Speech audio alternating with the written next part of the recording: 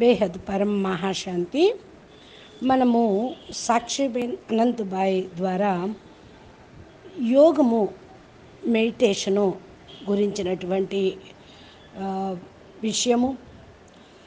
మరి self talk affirmation affirmations ఎలా మనం చేసుకుంటూ యోగం చేస్తూ ఉన్నారో దాని యొక్క రిజల్టు యోగం చేయటం ద్వారా మన లోపల ఉన్నటువంటి న్యూరాలజీ కూడా న్యూరో ట్రాన్స్మిటర్గా అది ఎలా బాడీ పనిచేస్తూ ఉంటుంది.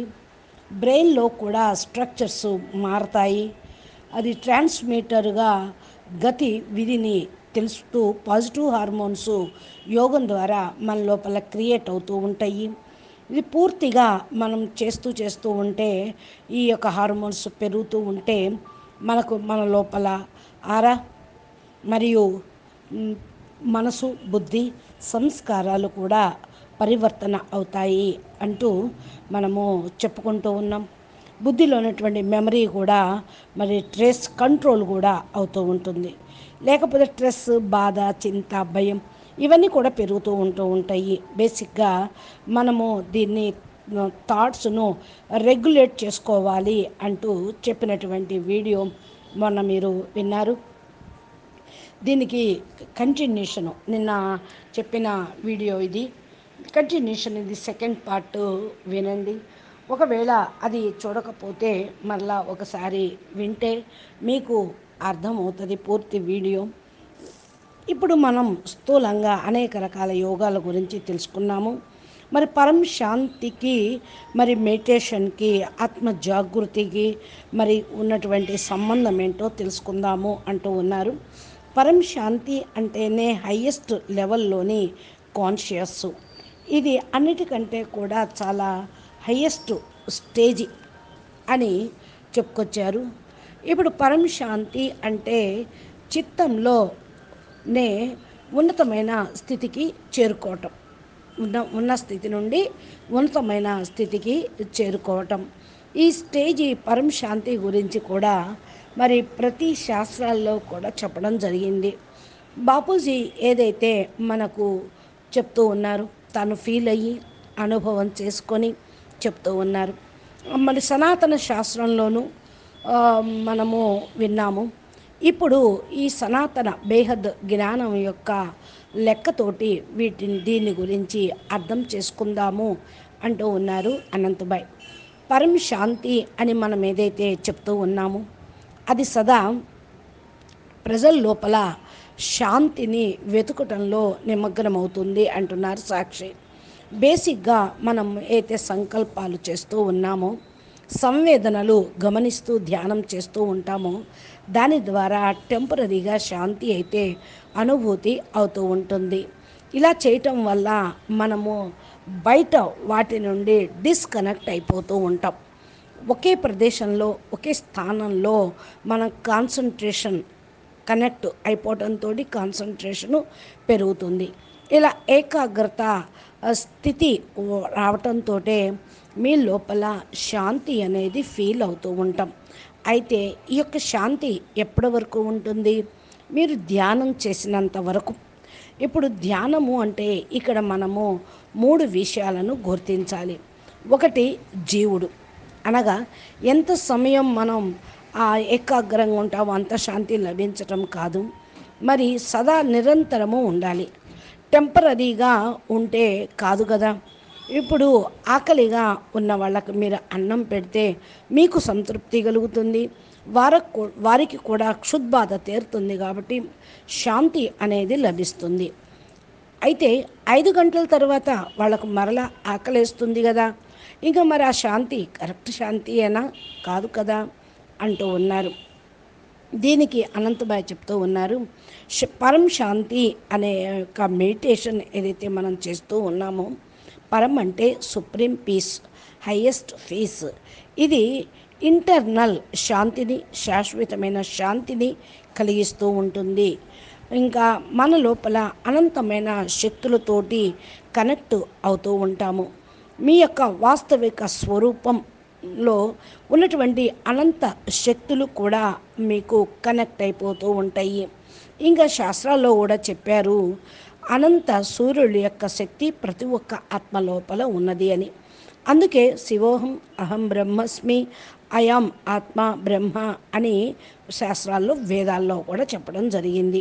ఇది తెలుసుకొని మనము సనాతన జ్ఞానంతో మెడిటేషన్ చేస్తూ ఉన్నట్లయితే తప్పకుండా ఆత్మ జాగృతితో పాటు మనలో ఉన్నటువంటి అనంతమైన శక్తులు కూడా జాగృతమవుతాయి.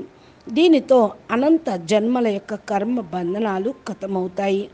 అజ్ఞానం నుండి ముక్తి కూడా లభిస్తుంది అంటున్నారు అన్నయ్య. ఎప్పుడైతే అజ్ఞానం తొలగిపోతుందో పరం శాంతి వైపుకు తప్పకుండా తిరగటం అనేది జరుగుతూ ఉంటుంది. సాక్షివేనంటున్నారు మన ఋషులు మునులు కూడా దీన్ని ఆత్మస్వరూపం యొక్క జ్ఞానం అయితే ఇచ్చారు. మరి అంటే ఏంటి ఆత్మస్వరూపం యొక్క జ్ఞానం అంటే మిమ్మల్ని మీరు తెలుసుకోవటం. మనల్ని మనం తెలుసుకొని తెలుసుకొని పూర్తిగా వాస్తవిక స్వరూపాన్ని తెలుసుకుంటాము. ఇక్కడ మూడు విషయాలు అన్నాం కదా. అదేంటి అంటే ఒకటి జీవుడు రెండు పరమాత్మ. అయితే జీవుడు ఎప్పుడైతే పరమాత్మతోటి కనెక్ట్ అయిపోతూ ఉంటారో దాని గురించే చింతన చేస్తూ ఉన్నప్పుడు పూర్తిగా భోగిగా అయిపోవాలని భోగి భోగిగా అయిపోతారు. అనగా స్థూలంలోకి మెటీరియలిజంలోకి వెళ్ళిపోతున్నంత కాలము వాళ్ళు భోగిగా ఉంటారు. వాళ్ళ మనసులో చింత అనేది ఉంటూనే ఉంటుంది. అంటే ఎప్పుడైతే మిమ్మల్ని మీరు జీవాత్మగా కాకుండా మరి జీవుడుగా కాకుండా జీవాత్మగా అయితే జీవుడి నుండి అతీతమైతే ఆత్మస్థితిలో ఉంటూ ఉంటారో అప్పుడు సుప్రీం రచయితను తెలుసుకోగలుగుతారు. సుప్రీం రచయితతోటి మరి కనెక్ట్ అయిపోతారు. అప్పుడు మీరు యోగిగా అవుతూ ఉంటారు. ఇక్కడ ఈ భోగి యోగిగా కావాలి అనే విషయంలో అనే వీడియోలో మేము చెప్పడం జరిగింది. మీరు యోగి కావాలి అంటే ఎవరితోటి కనెక్ట్ అవ్వాలి ప్రకృతికి అతీతమైనటువంటి ఆత్మస్వరూపంతో మరి ఉంటూ సుప్రీం కంట్రోలర్ తోటి జోడించబడాలి. అప్పుడే యోగిగా అవుతూ ఉంటారు. అప్పుడే మీరు ప్రభు చింతన జ్ఞాన చింతన సుప్రీం చింతన చేయగలుగుతారు. ఇక్కడ ఒకటి గుర్తుంచుకోండి. భోగి అయితే చింతలో ఉండిపోతారు. సదా చింత బాధ పరేషాల్లో ఉంటూ ఉంటారు. ఎందుకని? భోగి అయితే స్థూలంలోనే ఉంటూ అది కావాలి ఇది కావాలి అంటూ. ఇక ఒక కోరిక తీరిందదు ఇంకో కోరిక అలా రకరకాలుగా ఉంటూ ఉంటాయి. అయితే మనం ఈ జన్మలో ఈ జన్మ తీసుకున్నాము. కర్మ ఫలాలను సెటిల్ చేసుకుంటూ ఉండాల్సిందే. దీనితోటి యోగం కూడా చేయాలి. యోగం చేస్తే తప్పకుండా మీకు బెనిఫిట్స్ అనేది వచ్చేదే ఉన్నది అని అంటూ ఉన్నారు. దీనికి ఏమేమి బెనిఫిట్స్ వస్తాయి అంటే అనంతబాయ్ అంటున్నారు స్వపరివర్తన అవుతుంది. అనగా మీ లోపల దయ ప్రేమ కరుణ మీ యొక్క రియల్ హ్యాపీనెస్ పెరుగుతూ ఉంటుంది. దానితో ముందుకు చేరుకోగలుగుతూ ఉంటారు. శరీరం కూడా ఆరోగ్యంగా అవుతూ ఉంటుంది. శరీరం యొక్క ప్రభావం మనసు మీద ఎప్పుడు పడుతూ ఉంటుంది కదా. శరీరం మనకు మరి విశ్వ సేవకు కూడా హెల్ప్ఫుల్గా అవుతూ ఉంటుంది. ఎందుకంటే ఆ శరీరం ఆరోగ్యంగా ఉంటే సేవ చేయగలుగుతారు యోగం చేయగలుగుతారు ధారణ చేయగలుగుతూ ఉంటారు. మరి జ్ఞానం కూడా వినగలుగుతూ ఉంటూ ఉంటారు. టెన్షను బాధ తనావు తగులుపాటు వీటి నుండి ముక్తి అయితేనే కదా. అనేక జన్మల నుండి ఏవైతే ఉన్నాయో భయాలు లోపల అవి కూడా కథమైపోతూ ఉంటాయి. ఇంకా అనేక అనంత జన్మల నుండి ఉన్న వాసనలు కోరికల నుండి కూడా మీరు ముక్తి పొందగలుగుతారు. అంటే ఏంటి? అసలైన రియల్ బెనిఫిట్స్ మీకు ఇలా లభిస్తూ ఉంటాయి అంటున్నారు. ఈ సనాతన మార్గంలో బేహద్ యోగంలో మనలో ఉన్నటువంటి అనంత జన్మల పాపం కూడా సమాప్తం అవుతుంది అంటున్నారు అన్నయ్య. ఇవే కాకుండా అంటూ సాక్షిమేం చెప్తున్నారు? మనకు తెలియనటువంటి సూక్ష్మమైన బెనిఫిట్స్ కూడా చాలా లభిస్తూ ఉంటాయి. అట్లాగా అంటే మేనిఫెస్టేషన్ చేయటం తప్పు అని చెప్పడం లేదు. మీకు ఏకాగ్రత కొర కుదరటం కోసం మరి యోగంలో ఫస్ట్ స్టార్టింగ్లోనే మీకు మరి ప్రారంభం చేయాలన్నప్పుడు అంత క్రితం మీరు చేశారనుకోండి అలా చేస్తూనే ఉండండి. ఏకాగ్రతను పెంచుకోండి. ఇది పెంచుకోవటంతో మరి మీరు ఏదైతే మరి పోగొట్టుకున్నారో అవన్నీ మీకు లభిస్తూ ఉంటాయి. ఇంకా మేము చెప్పేది ఏంటి అంటే చాలా పెద్ద పెద్ద యోగులు కూడా మరి మహర్షులు మునులు కూడా ఇప్పుడు ఈరోజు పెద్ద పెద్ద యోగులు అనగా ఈ ప్రపంచంలో ఇప్పుడు ప్రస్తుతం ఉన్నవాళ్ళు. మరి గురువులని ప్రవక్తలని ఎవరైతే ఉన్నారో వాళ్ళు కూడా ఇవన్నీ నేర్పుతూ ఉన్నారు. మేమేదో చెప్తున్నామని భావించగలదు చిన్న ముఖం పెద్ద నోరు అనకుండా manifestation is not a meditation అని అంటూ ఉన్నారు సాక్షి వ్యాన్ ఎందుకంటే మరి ఆత్మ అనేది సర్వోత్తమమైన అన్నిటికంటే సర్వోపరమైనది. ఇప్పుడు మేనిఫెస్టేషన్ కేవలం మనసుని కాన్సన్ట్రేషన్ చేయటం స్థూలము ఏకాగ్రత అంటే అంటారు. కానీ ఆత్మస్వరూపంలోకి తీసుకుని వెళ్ళలేరు కదా. అయితే ఇండివిజువల్గా కనెక్షన్ అనేది ఉండాలి. ఎంతవరకు అయితే ఇండివిజువల్ కాన్షియస్ మరి ఇప్పుడు చెప్తూ ఉంటారు కదా యూనివర్సల్ కాన్షియస్ తోటి కనెక్షన్ జోడించండి అంటారు. విశ్వంతో కనెక్ట్ అవ్వండి. విశ్వం నుండి శక్తి వస్తుంది. విశ్వం మీ కోరికలను తీరుస్తుంది. విశ్వం ఎప్పుడు ఇవ్వటానికి మీ అది రెడీగా ఉంటుంది అని చెప్తూ ఉంటూ ఉంటారు. అయితే మరి సైన్స్ కూడా ఇలాగే అంటుంది. యూనివర్స్ కాన్షియస్ అసలు ఉంటుందా? యూనివర్సల్ అంటేనే విశ్వం కదా. విశ్వ రచయిత దగ్గర కాన్షియస్నెస్ ఉంటుంది. విశ్వ రచయిత దగ్గర పవర్ అనేది ఉంటుంది. ఇది కొంచెం ఆలోచించాల్సింది. యూనివర్స్ యొక్క క్రియేటర్ తోటి యోగం చేయటమే అది యూనివర్స్ తోటి జోడించబడటం అవుతుంది. దీన్నే ఆత్మ పరమాత్మతోటి జోడించటం అంటారు. యోగం చేసేటువంటి అప్పుడు శాంతి అనేది లభిస్తుంది.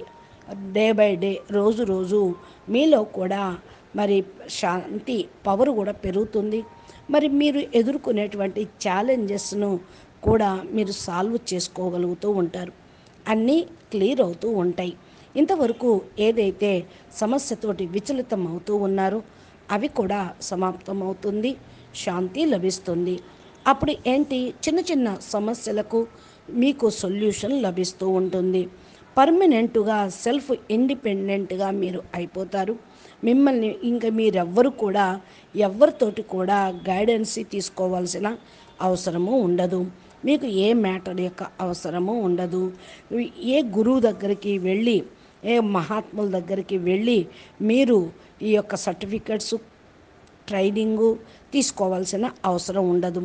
సెల్ఫ్ మరి um, సఫిషియంట్గా మళ్ళీ మీ సమస్యలను ఇతర ఇతరుల దగ్గరికి తీసుకువెళ్ళాల్సిన అవసరము ఉండదు. దీనికోసం ఎవరి దగ్గరికి వెళ్ళి హీలర్గా హీలర్ దగ్గరికి వెళ్ళి హీలింగ్ చేయ చేసుకోవాల్సిన అవసరమూ లేదు. తప్పకుండా మీరు యోగం చేస్తూ ఉండండి. బీజ రూపంతో కనెక్షనే అసలైన యోగం అంటారు. ఈ సృష్టి మొత్తానికి బీజం ఎవరు? Supreme almighty authority God is light God is might అని ఎవరైతే మరి ఉన్నదో ఆయనతోటి కనెక్ట్ అవ్వాలి అని చెప్తూ ఉన్నారు. సాక్షి మేడం. అనంతబాయ్ అంటున్నారు మెడిటేషన్ గురించి కూడా మరి మేము చాలా వీడియోలు చేశాము. మరి గీతలో చెప్పిన పద్దెనిమిది రకాల యోగాల గురించి కూడా మేము ఈ యొక్క లైవ్ మెడిటేషన్లో కూడా డిస్కషన్ చేయటం జరిగింది. మరి దీనిలో బుద్ధి యోగము రాజయోగము మరి భక్తి యోగము కర్మయోగము ఇలాగ సన్యాస యోగము చాలా రకాలుగా చెప్పడం జరిగింది. చాలామంది మరి ఆరా క్లీనింగ్ అని చెప్తూ ఉంటూ ఉంటారు. ఇవన్నీ కూడా ఈ బేహద్దు పరమ జ్ఞానంతో మీకు మీరే పరమాత్మతోటి ఆల్మైటీ అథారిటీతోటి కనెక్ట్ అయ్యి బేహద్దు పరం లైట్ పరం ప్రకాశంతో పవర్ని తీసుకుంటూ మీ ఆరాన్ని క్లీన్ చేసుకోవచ్చు. మీలో సెల్ సెల్లుని కణ కణాన్ని క్లీన్ చేసుకోవచ్చు. అప్పుడు శరీరం కూడా ఆరోగ్యం అవటానికి హీలింగ్ అనేది చేసుకోవటం అనేది జరుగుతుంది. పరం లైట్ తోటి మీరు కనెక్ట్ అయ్యి సంకల్పం చేస్తూ ఉంటూ ఉంటే అప్పుడు మీరు క్లియర్గా ఆత్మలో పవర్ పెరుగుతుంది. మిమ్మల్ని మీరు తెలుసుకోగలుగుతారు. మీరెవరు? ఎక్కడి నుంచి వచ్చారు? ఏం చేయటం కోసం వచ్చారు? ఎందుకు ఈ భూమి మీద ఉన్నారు? అనేది కూడా మీకు తెలుస్తూ ఉంటుంది. దీనికోసం మేము ప్రాతకాలంలో ప్రొద్దు పొద్దున్నే లేచి ఏమేం సంకల్పాలు చేయాలి అనే వీడియో పెట్టాము. నిద్రాయోగం గురించి కూడా ఒక వీడియో పెట్టడం కూడా జరిగింది.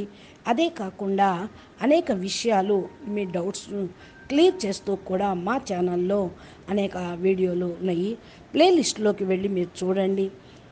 మీకు అన్నీ అర్థమవుతూ ఉంటాయి. మెడిటేషన్ సంబంధించిన ప్లేలిస్ట్ కూడా ఉన్నది. కామెంట్రీస్ మరి అనంతబాయి వీడియోలు సాక్షిబేని యొక్క వీడియోలు బాపూజీ చెప్పిన అద్భుతమైనటువంటి జ్ఞానము మరి హిందీ తెలుగు సంబంధించినవి మా దివ్య సందేశాలు జ్ఞానము యోగము ధారణ సేవ గురించి స్పష్టంగా బేహద్ బ్రహ్మ అమ్మ చెప్పినటువంటి వీడియోలకు ప్లేలిస్ట్లో ఉన్నాయి. పురుషార్థానికి సంబంధించిన ప్లేలిస్టు ఉన్నది. మీరు మా ఛానల్ని సబ్స్క్రైబ్ చేసి గంట సింబల్ని ప్రెస్ చేస్తే బాపూజీ రోజు అప్లోడ్ చేసేటువంటి వీడియోలు మీ మొబైల్కి నోటిఫికేషన్ రూపంలో లభిస్తాయి. మీరు ఈ వీడియో పూర్తి దాకా అంతిమం వరకు చూసినందుకు చాలా చాలా ధన్యవాదాలు. ఫస్ట్ పార్ట్ను కూడా వినండి. మరి అర్థం చేసుకోండి. యోగము జీవితంలో ఎంత ఇంపార్టెన్సో మీరు తెలుసుకొని మీ జీవితము యోగిలాగా చేసుకోండి. ఎందుకంటే మానవ జీవితం మరి ఒక్కసారి లభిస్తుంది మోక్షం కోసం ముక్తి కోసం ప్ర పరమాత్మని పొందటం కోసం. కాబట్టి ఈ మానవ జన్మను మీరు సద్వినియోగం చేసుకొని మరలా జన్మ లేకుండా జన్మ మరణ చక్రాల నుండి విముక్తి జీవన్ముక్తి పొందటానికి ఏదైతే బాపూజీ జ్ఞానం చెప్తున్నారో అది మీరు ఫాలో అవ్వండి. అచ్చ పరం శాంతి నమస్తే ధన్యవాదాలు. बेहद के बेहद परम परम परम। महाशांति है महाशांति है महाशांति है। नमस्ते।